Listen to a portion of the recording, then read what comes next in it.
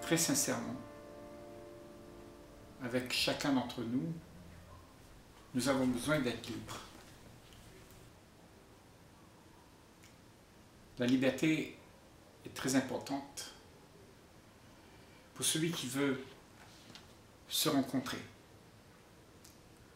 Se rencontrer demande que l'esprit soit libre, libre de toute pensée qui intervienne dans le flux de la relation.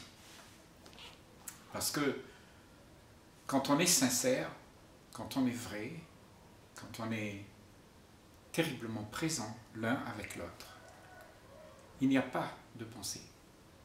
Il y a juste une union qui se fait. Et cette union, c'est la reconnaissance de deux éléments libres qui se rencontrent. Et nous sommes, en fait, dans la réalité, nous sommes ces éléments libres qui se rencontreront les uns et les autres. Cependant, qu'est-ce qui nous empêche de nous rencontrer vraiment? Ce sont, pour la plupart d'entre nous, toute notre histoire, notre mémoire, tout ce que nous sommes, tout ce que nous sommes devenus, tout ce que nous avons acquéri de la vie. Et la vie nous empêche d'être vraiment présents. La vie que nous avons connue, la vie que nous connaissons, a encombré nos esprits. Nos esprits sont encombrés de tout un tas d'idées, de traditions, de tendances que chacun a acquéries tout au long de son expérience. Et ce que nous sommes en fait n'est ni plus ni moins cette expression de ce que nous avons appris. Cependant, cette expression, elle n'est pas une réalité, puisque elle n'est pas sincère, elle n'est pas du profond des cœurs, elle est seulement de la superficialité des cœurs. C'est justement cette superficialité que on a tous recueilli de nos expériences. Et nous sommes en fait euh, impulsives, compulsives. Et ce sont des réflexes qui parlent, parce que ce sont des choses acquises qui se répètent. C'est une mémoire qui se réitère de tout ce qu'on a connu. Et cette mémoire, elle perturbe l'expression de ce que tu es vraiment, l'expression sincère de toi. Il y a une beauté dans cette expression. Quand l'expression elle est sincère, il y a une beauté extraordinaire. Parce que il n'y a pas de calculation. Il y a juste un flot d'énergie qui passe et qui, s'unit, qui met de l'ordre dans le désordre. Et pour la plupart, nous ne connaissons pas cet état d'être qui fait que nous sommes libres, libres d'exprimer ce que le plus profond de soi propose. Ce que le plus profond de toi propose, c'est tes rêves les plus fous, c'est ton élan le plus enthousiaste, la joie la plus grande. Mais cette société ne t'a pas permis d'être comme ça puisque tu es tout le temps dans euh, la répétition de ce qu'on t'a dit, de comment tu devrais être. Et quand tu réagis comme ça avec l'impulsion, avec la compulsion de comment tu devrais être, euh, tu réagis avec la pensée, avec la connaissance de ce que tu es. Et ce que tu es parle dans son langage de la pensée, de la, de la réitération de tout ce que tu connais. Mais parler avec son cœur n'a rien à voir avec ce que tu connais, avec ce que tu es devenu. Ce que tu es devenu, c'est la représentation de toutes tes tendances, ta personnalité, ton caractère.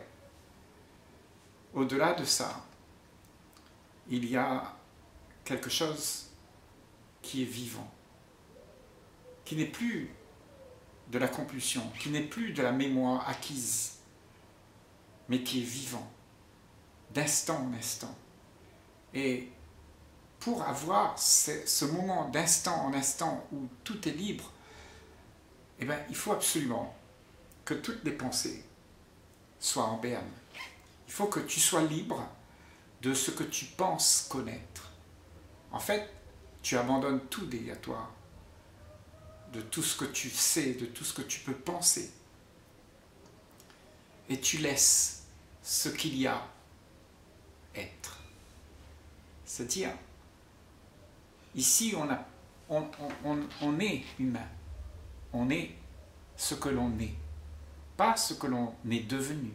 Ce que l'on est vraiment.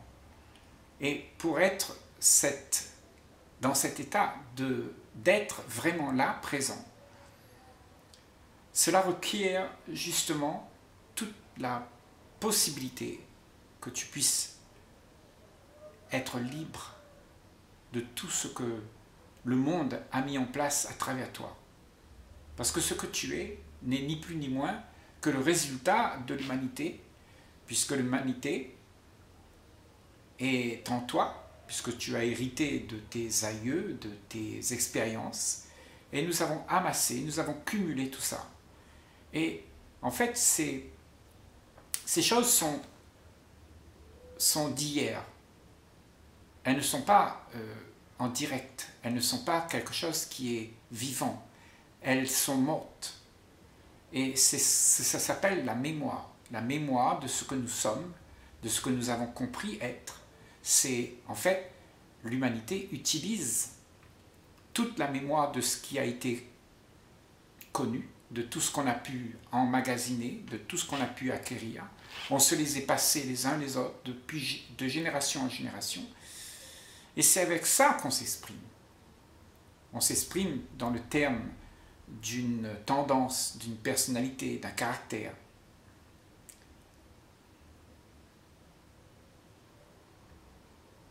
Et abandonner ça, ce n'est pas une mince affaire. Pour être soi, parce que ce caractère, cette tendance, cette personnalité, elle, elle a appris comment être comme ça. Donc elle a fait toute une existence d'exercice, d'expérience pour pouvoir se donner une attitude qui peut rencontrer les situations. Et cet état de rencontre avec les situations pour ne pas être impacté, ça veut dire que la mémoire met en place une vie qui est un critère, une, une référence de ce qui a déjà été vécu. Mais là, on parle bien de ce qui est vivant, de la vie elle-même, qui n'est pas une mémoire qui n'est pas ce qui a été acquis. La vie, elle se meut d'instant en instant. Quand plus rien ne la gêne, elle, elle peut être, à travers toi, une manifestation de ce que la plus belle beauté qui existe. Et justement, cette liberté, elle demande que l'esprit comprend que nous, ne sommes pas libres. Et que tout ce que tu peux inventer avec la pensée de quelque chose qui ressemble à la liberté ne sera jamais de la liberté. Parce que la pensée elle-même, elle n'est pas libre, elle est limitée à son connu. Et avec cette pensée, nous faisons nos idéaux, nous disons que comme ça, j'aurai une vie agréable, donc je vais faire ça, ça et ça.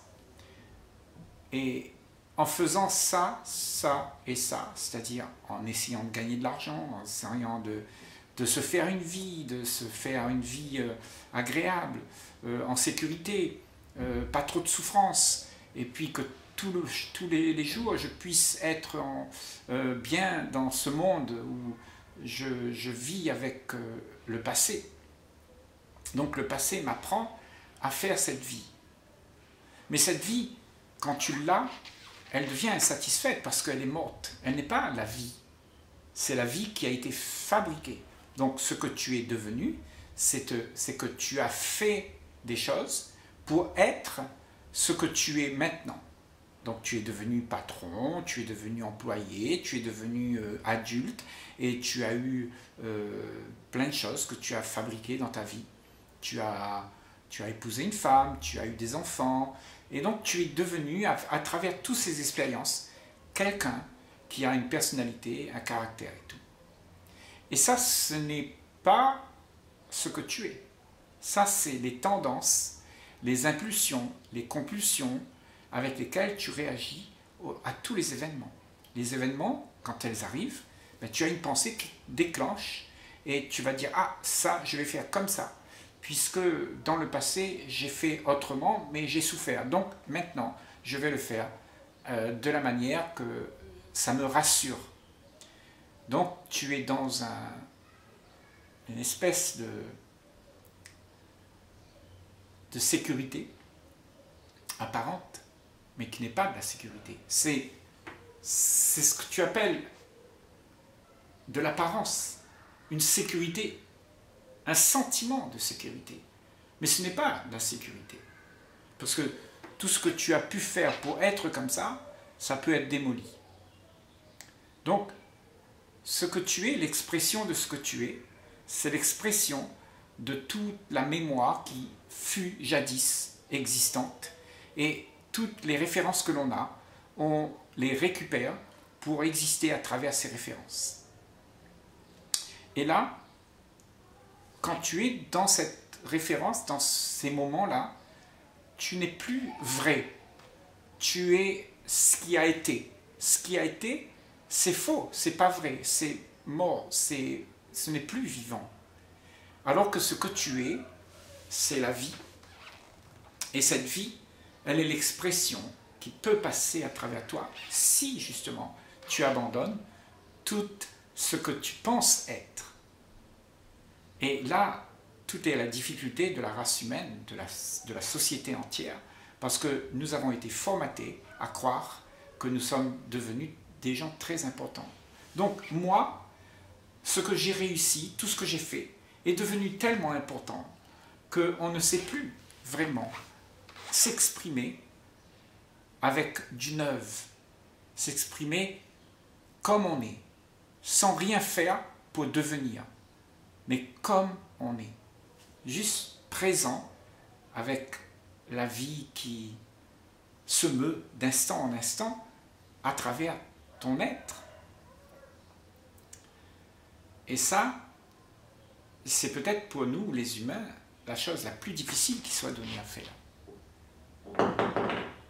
Parce que quand tu abandonnes euh, ce que tu aimerais être, ce que tu aimerais être est devenu ta vie. Et quand on dit abandonner sa vie, c'est un gros, un gros morceau. Parce que on n'est tous pas prêts à abandonner tout ce qu'on a acquis. Donc, il faut voir comment tu es dans ta vie, parce que chacun d'entre nous, nous vivons cette vie. Et nous vivons avec du passé, nous ne sommes pas vrais, nous ne sommes pas présents. Et souvent, il y a beaucoup qui comprennent que quand ils ne sont pas vrais, eh bien, ils sont dans un état d'insatisfaction. Parce que ce que nous sommes, en fait, n'est pas euh, satisfaisant. ce que nous sommes devenus. Ce n'est pas satisfaisant, puisque cette chose-là, elle va réagir et elle va agir avec les éléments du passé. Donc, le passé qui a été, on peut faire des choses avec. Mais on n'aura pas la totale euh, action qui est, qui est présente. Tout ce qu'on va faire, c'est des actions limitées. Limitées à ce que nous avions connu. Mais pas illimitées. Parce que quand il y a l'instant qui coule, l'instant de la vie qui coule, eh bien, cette expression, elle est illimitée. Et elle est juste, cette expression. Elle est juste dans l'action. L'action de cette expression, elle est juste. Elle n'est pas habillée de limites. Elle est entière. Elle est présente. Elle est là.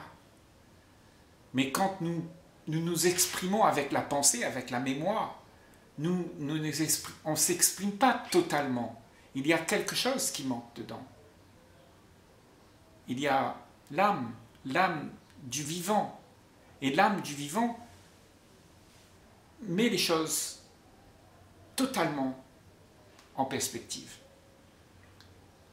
Parce que c'est, c'est l'essence même de la vie qui coule à travers toi.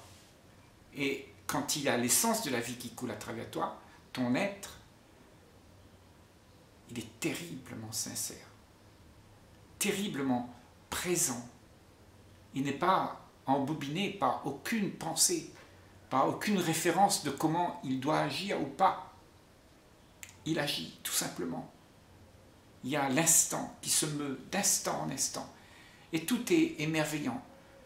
Parce que ces instants, ne sont pas teintés de choses qui vont faire en sorte que tu vas devoir revenir sur ton action. Toute action que nous faisons, c'est comme un boomerang. Il revient vers toi parce qu'elle n'est pas totale, elle n'est pas entière, elle est limitée. Limitée avec ce que tu as connu. Mais l'action vraie, elle est totale. Il n'y a pas de quelque chose qui fait que il y a quelque chose de brouillé dedans. Je sais pas, tu peux voir la façon dont agit le monde aujourd'hui. La politique, par exemple, elle, veut résoudre des problèmes. Et en, en, en prenant le temps de résoudre ces problèmes, eh bien, qu'est-ce qui se passe? C'est qu'il y a 30 autres problèmes qui, qui arrivent avec la solution que l'on a. Parce que toute action n'est pas pure, n'est pas vraie. C'est du, on a recueilli des actions de ce qui s'est passé. Mais toute chose doit être pure pour pouvoir être totale, entière. Et l'être que tu es est justement entièrement présent. Et lui, s'il est libre de toute la pensée, il peut agir. Il peut agir non comme la pensée, mais comme la vie. Et la vie, dans la vie, il n'y a pas de pensée. La vie, elle, elle utilise ta pensée. Mais la pensée ne peut pas utiliser la vie. Donc, laisse-toi être. Parce que ce que tu es, c'est la vie. Et la vie a cette intelligence de se mouvoir dans ce monde sans rien attendre de qui que ce soit. Elle est elle sera et elle ne cessera d'être.